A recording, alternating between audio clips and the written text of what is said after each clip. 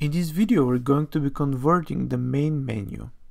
We'll be clearing the body markup, we'll be implementing the menu wrapper and the menu items markup. So on our desktop we have the static version of the web page. So let's go ahead and load it inside of Sublime and let's have a look at the index. So basically as we open the page with Google Chrome for example we see that we're going to be implementing this area here. That means that we would have to implement inside of the body a wrapper called layout container and then we're going to start with the nav tag which will contain both our logo and our navbar link. Great. So in order to do that let's go ahead and open our web shop project. So let's check it in the browser first. And basically there is part that kind of looks already like the main menu but is not really the main menu. Let's go ahead first and load also our Drupal theme markup inside of Sublime. If we have them both so I'll go ahead and add it here. That's great. So here we have the static version and here we have our theme actually. So let's go ahead and check from where our markup is coming. So if we start inspecting we will see that there is already nav tag here but before it there is a region template that is giving a div and before that it's the page template and some additional ones. Okay great. So what is a good practice is to start overwriting our templates from here. From the HTML let's go ahead first and override the HTML template. Then go ahead and override the page HTML and then as we have it clean we'll continue to implement exactly the markup that we want so as we go to our Drupal instance as we go to core and themes and stable uh, there is the layout here. We have here both the HTML and the page templates. So as we copy them and we go to our theme and templates and we paste them. We actually already have them. Wonderful. And the next thing we want to do is we want to go and so let's open the static version and the page at the same time. Um,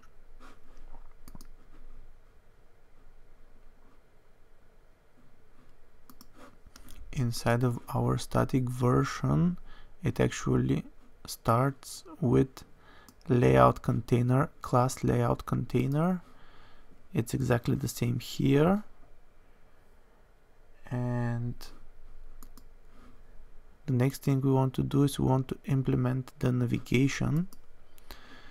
And basically the primary menu comes from this bit here. So but there's also a page header. The page header we actually don't need so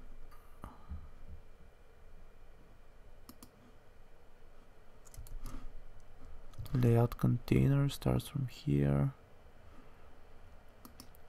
And the header uh,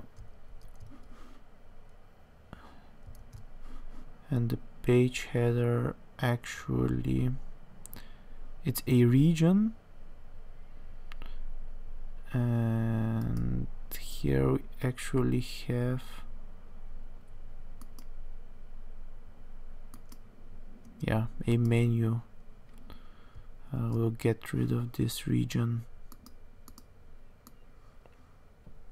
Uh, this region actually for now.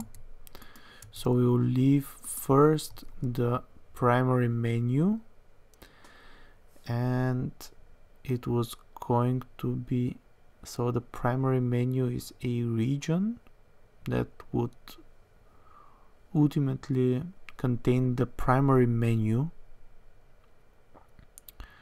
and the secondary menu we don't need because in our template we don't have a secondary menu. Bread breadcrumbs we can leave for now. Page help we don't need. And uh, here this bit main content would actually remove it for now.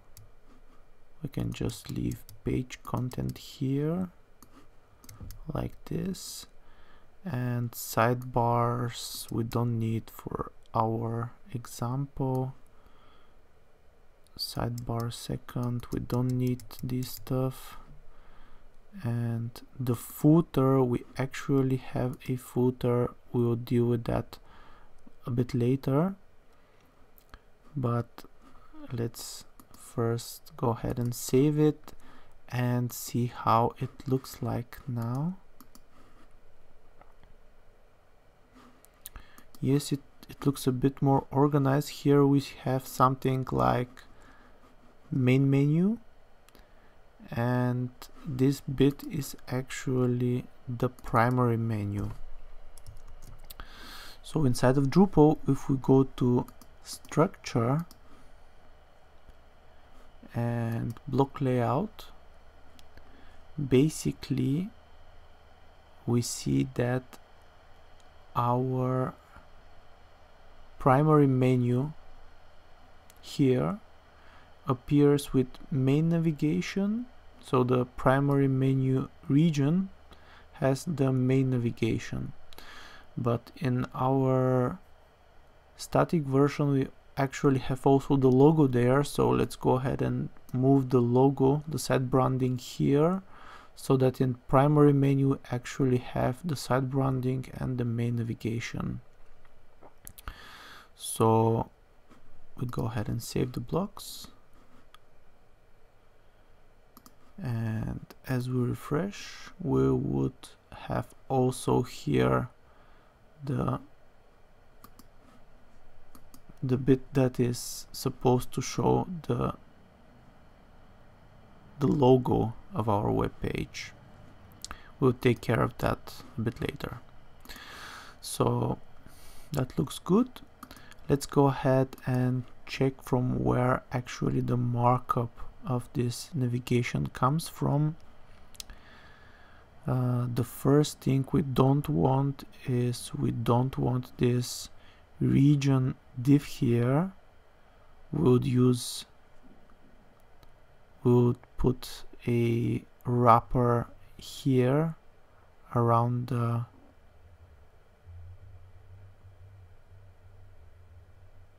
no we would actually use this version region primary menu and we'll add the wrapper that will wrap these two blocks.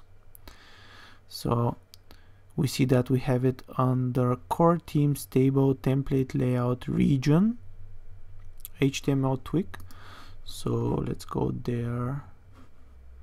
Let's actually open it in another tab so it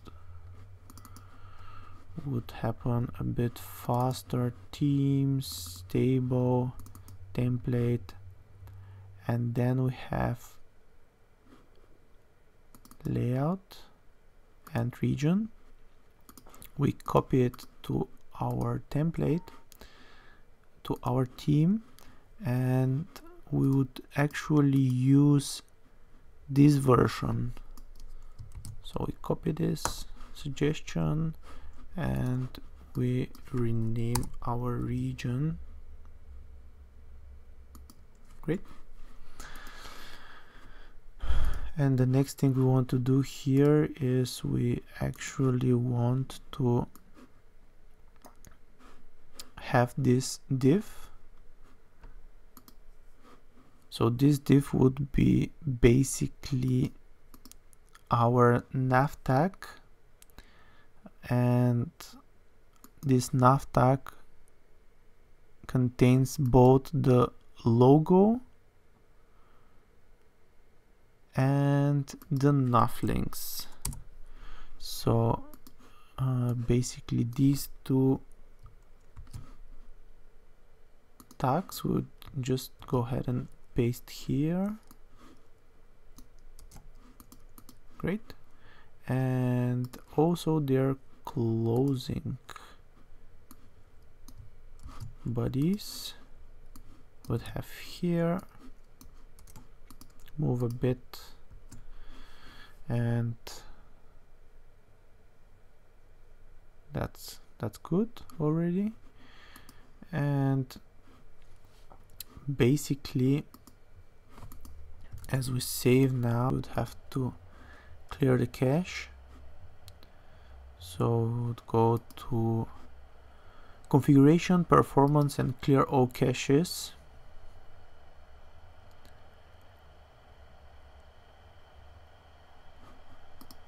Great. That's great. It looks a bit broken but uh, that's fine for now and let's continue. Basically our branding block should only have the uh, the logo. It actually appears a bit different but would override it. Would go to core themes stable templates block block system branding block and we will override it. So here we already have the uh, the core stable theme opened. So if we go to block and if we go to block system branding block uh, let's copy it in our template in our theme and we clear the cache. The next thing we want to do is nudge this body a bit. So in the static version we only have a link that has the id logo container and class brand logo and would basically do exactly the same. That's fine. That's fine.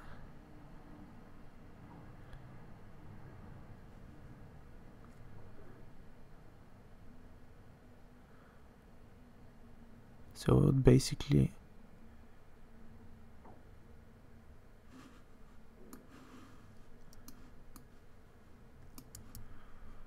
have exactly the same thing here. And we would need to have a ID and class brand logo.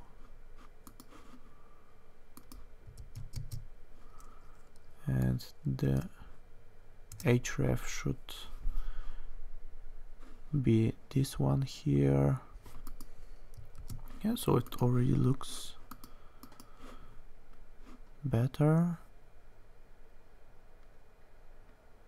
Yeah. It start uh, it starts to to come in place. So what we see from here is that it's coming from the block HTML twig and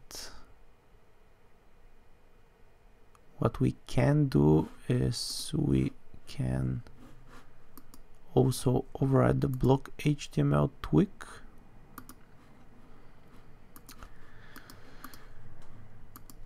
in our theme and we can say that um, we don't want this bit here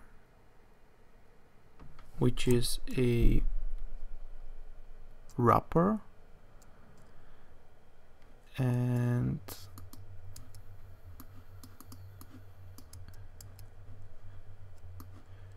we also don't don't need block title.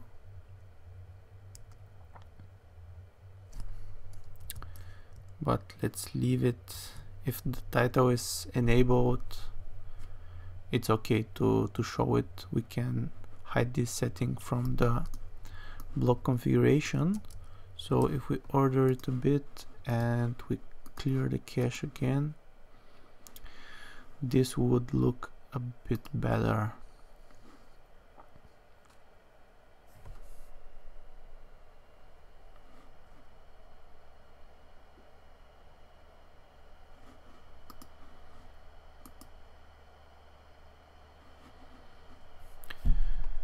So yeah, the the logo appears alone. It's uh, after the nav wrapper, which is fine. There is a contextual link here which would not appear if you're not logged in.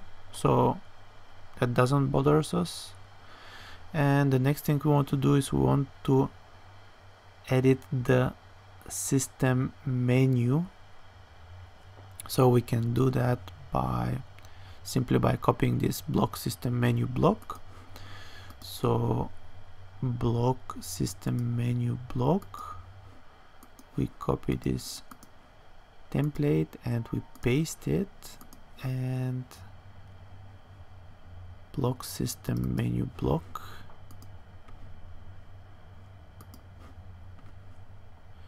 Uh, here actually we don't need a nav wrapper because we have the nav wrapper around the whole menu. Uh, I would say we don't need this bit here. Uh, title prefix. And uh, yeah. So let's take a look after we clear the cache again how how would it look like? So it, uh, we we got rid of the h2 here and we we would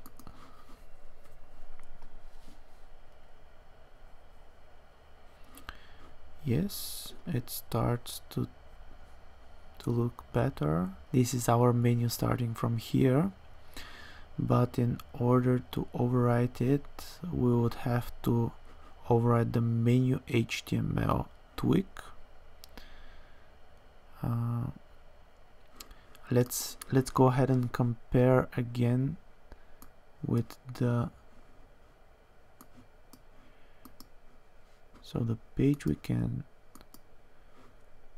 close for now. So we have this bit here already done and we have this one starting but actually the classes are not correct so it's not appearing uh, floated correctly.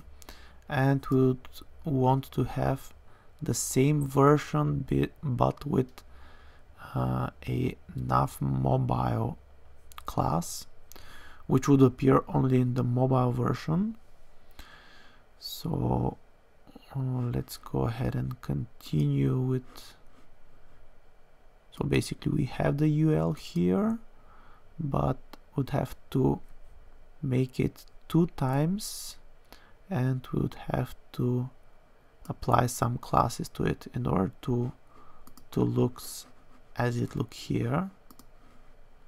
As you see the home already looks like here the logo the bit is that is not styled for now is the actual menu. So let's go ahead and copy this file and we'll rename it to menu main. So we go to stable template templates navigation menu. So here we are in the core templates table. And if we go to navigation and then menu. As we copy it let's go ahead and create a folder in our theme. Call it navigation. We're free to create all kinds of folder folder structure inside of our custom theme. So let's go ahead and rename our menu template file with the suggestion that we have for the main menu so that it overrides just this main menu. And as we go to our code editor we we would want to actually have it two times. I'm not sure if we could have this two times here. Let's try if that would work. So as we have it let's have it one more time. We would add a twig comment that this is the uh, mobile version. And um, with attributes uh, let me show you a trick. Uh, basically with attributes we have in Drupal 8 the possibility to add classes. So we can go ahead and say add class and we can type a class here. So in our static version we we actually have these classes. So if we say add, add class right sorry if we say add class right and add class height. This should basically add those classes. And uh, our LIs they should be as simple as they look here. They have some attributes but yeah should be fine. And uh, in our mobile version would have to be able to add class and say sorry uh, class nav.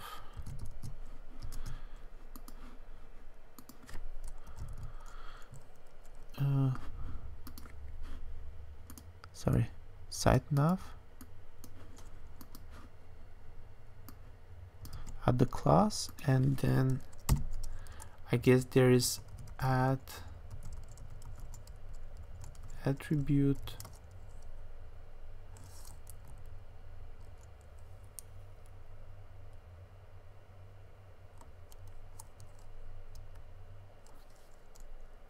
I'm not sure if that would work.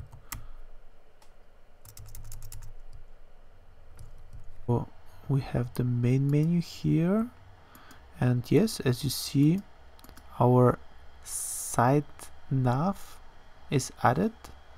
So what we actually need is we want to add uh, with a site nav.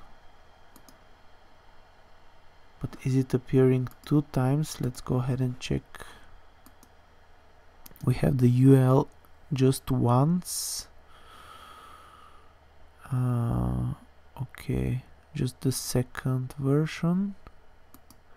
Yeah one of the versions is not appearing. Okay. So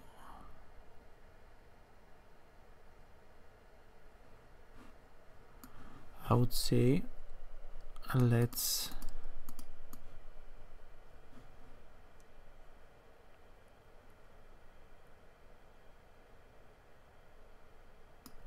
go ahead and have this bit here like this. Import self as menu. That that bit we have here at the top. And I'll just add a uh, twig comment mobile menu starts. Attribute attributes add class and then right and then add class again. That looks right to me. Let's go ahead and refresh. Clear the cache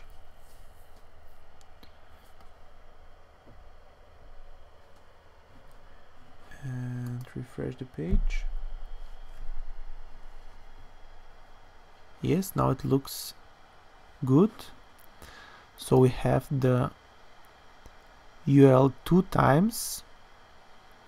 Uh, what we don't have is we don't have the actual ID I think it it would be essential to have the ID uh,